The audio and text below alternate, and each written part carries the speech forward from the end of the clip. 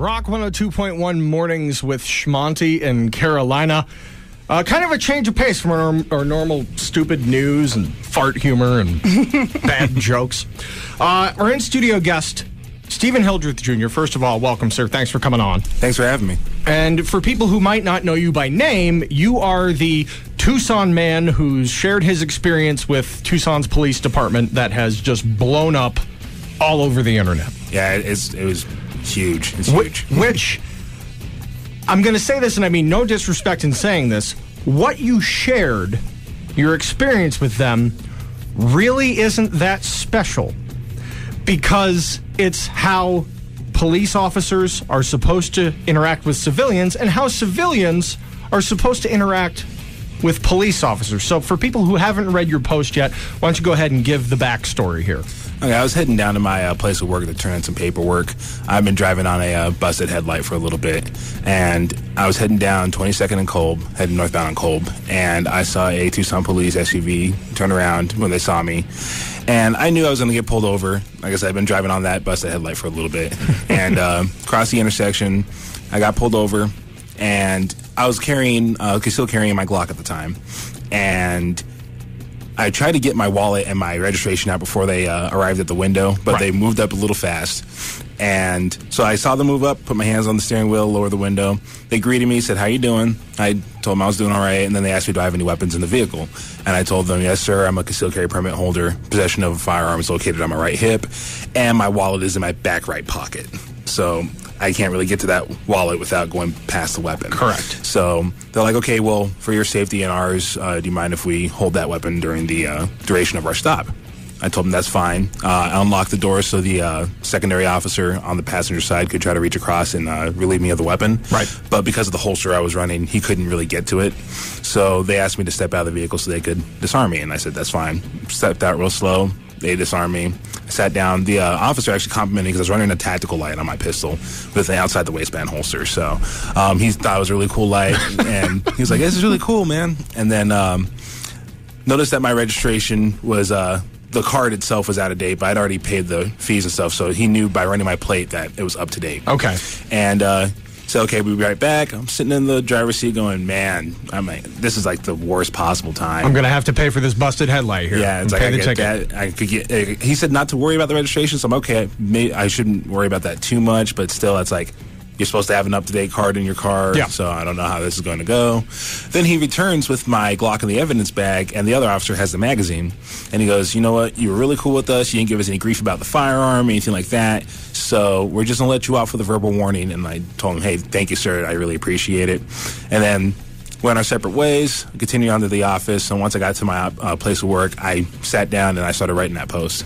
Okay. And so what, why did you feel the need? To share to share that experience, which is really just sounds like a routine traffic stop. And, it absolutely it absolutely is routine. That's like the vast majority of contact with law enforcement goes just like that. And the reason why I felt the need to share it is because you, you look at the media and it's overwhelmingly negative. They're always focusing on the negative. You rarely ever hear stories about good interactions with law enforcement. It's not because they don't happen. That's the majority of interaction with law enforcement. It's because the media is not choosing not to cover it. So I figure it's up to everyday people to sit there and cover it. And at the time, uh, my Facebook page for my uh, promotion of my books had a little following. I thought, hey, I'm proud of my less than 2,000 followers or so sure. forth. I was like, I can, I can spread the message through this, you know, get a little traction, share the story.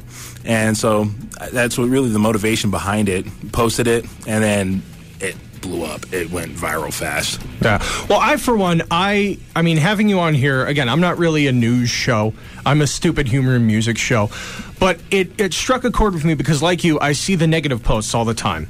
And I'm not downplaying those actions of those officers uh, that did commit acts of police brutality. I do believe they should be punished. I do believe the victims should receive the justice they deserve or their families. But when those posts come, along comes with it all cops are evil, all cops are bad, all cops are out to get you, and that's not the case.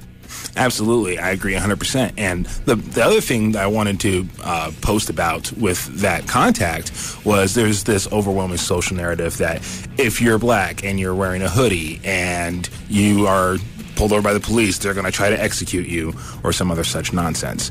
And I'm wearing the same hoodie I'm wearing right now. I was armed. So if that narrative were true, I wouldn't be here giving this interview because that's dead to rights right there. I'm armed and there you go.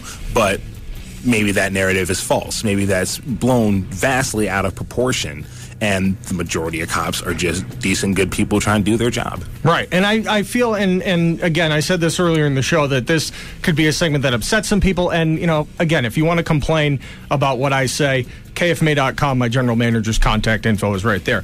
I think that this is more of a respect issue and and it's clear because you the officers had a respect for you as a motorist, you had a respect for them as police officers, and I think it supersedes race. I think it's respect. If if we respect each other and treat each other how we want to be treated as human beings, there doesn't need to be the stigma because these are the individuals who, you know, when I go to work, I come in, I sit here, I drink coffee, I write bad jokes. Carolina tells me they suck, so I try to make them funnier. and then we go on the air and we say stupid things in between songs. I don't have a terribly difficult or threatening job. These are the individuals whose career, whose whose job path is to put themselves between me and danger. And when all of this cop hate comes out, cops are evil, cops are corrupt, cops are bad, these are people you shouldn't trust, you're putting all of their lives at risk. And that pisses me off because I grew up with a police officer across the street. A lot of my childhood friends have become police officers. My cousin's husband is a canine handler in Massachusetts. He was actually uh, the individual who, when the Boston Marathon bombings happened, he was the first canine handler on the scene going backpack to backpack, checking to see for more unexploded devices. I mean, so that, and saying all of these people who I've known my whole life, and they're good people, and I do a lot of work with the TPD. I train with a TPD officer who shares with me that his wife can't sleep until he comes home from his shift. I've done charity work with, you know, Phoenix police officers, officers in Poughkeepsie, New York, in the Hudson Valley.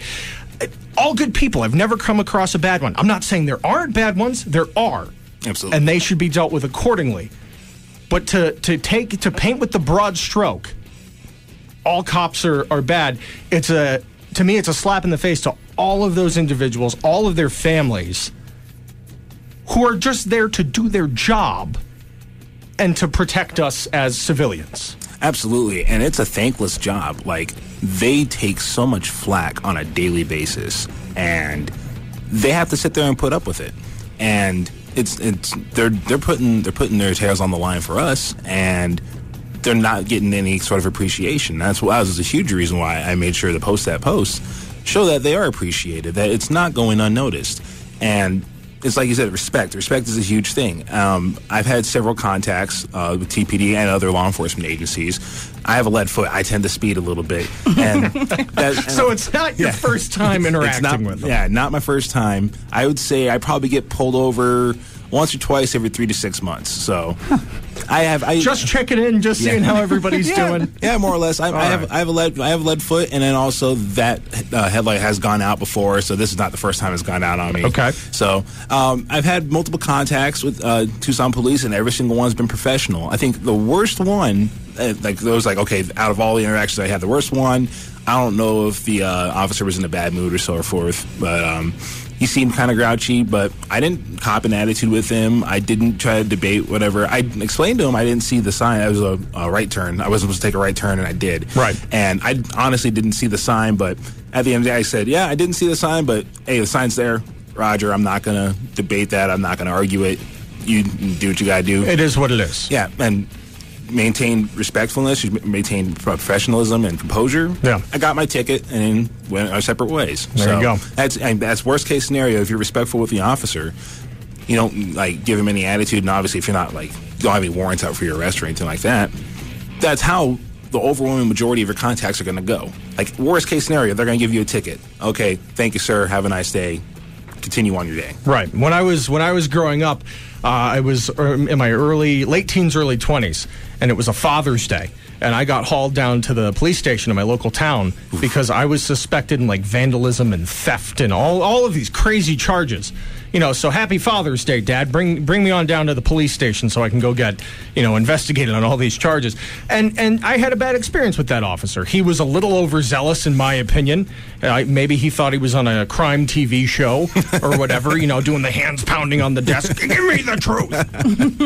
and you know, it came. I stuck to my story, which was the truth. I didn't do it, and it came to light, and that was the end of it. But I'm not going to go through my life harboring a grudge because that one guy decided to be an asshole. Like he was the ass. There are other good people out there, and and that's going back to the original point here. That's why I wanted to bring you on, uh, just to thank you for for not really sharing anything special. You you shared what what goes on every day, and it. I just think it needs to be a reminder for people out there that the police are there to serve and to protect, and they're not there to be these big monster, scary people uh, to uh, you know attack and assault and all that. And and so you know. Thank you if you are in law enforcement or, or in your case, the armed services. Yeah, yeah uh, any first responder out there. You know, just thank you for what you do because what I do is is not hard. Anybody could do this job. I, I stand by that. I shouldn't say it because my GM's going, really? We're paying him way too much then. but again, but uh, uh, Steven, I know you've got a, a, slew of other media interviews today, but I just wanted to thank you for taking the time and for coming on our show. And again, for uh, for sharing your story. I appreciate it. Yeah, thanks for having me. I hope people keep uh, sharing it because it needs to be spread. It's Rock 102.1 Morning, Schmonton, Carolina.